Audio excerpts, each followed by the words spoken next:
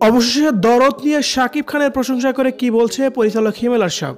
প্রিয় দর্শক, এ বিষয়ে বিস্তারিত জানতে একটা মুহূর্ত না টেনে সম্পূর্ণ ভিডিওটি দেখে সঙ্গে থাকুন। সম্প্রতি সময়ে চিত্রনায়ক শাকিব খানের দরদ নিয়ে চলছে অনেক আলোচনা। তার কারণ, চিত্রনায়ক শাকিব খান দরদের উদ্দেশ্যে মুম্বাই পৌঁছে সংবাদ সম্মেলনে উপস্থিত হয়েছিলেন। সেখানে অনেক কথাই বলেছিলেন এই অভিনেতা। আর তারপর থেকেই চলছে সোশ্যাল মিডিয়ায় অনেক আলোচনা। এর মধ্যেই পরিচালক হিমেল আরশাবও তার ফেসবুক পেজে একটি পোস্ট দিয়েছেন শাকিব খানের দরদ সিনেমা নিয়ে। পোস্টের ক্যাপশনে লিখেছেন, দরদ নামটার মধ্যেই অনেক দরদ। বাংলাদেশের কোনো অভিনেতা বা পরিচালকের সিনেমা অলরেডি মুক্তি পাবে।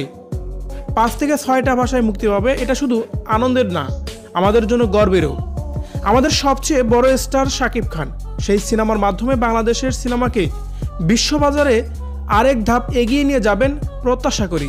মামুন ভাই, লিপু ভাই, সানিয়াত ভাই সহ দরদ টিমের সকলের জন্য রইল দরদ। সাথে দিয়েছেন, রাজকুমারের আপডেট আসছে শীঘ্রই।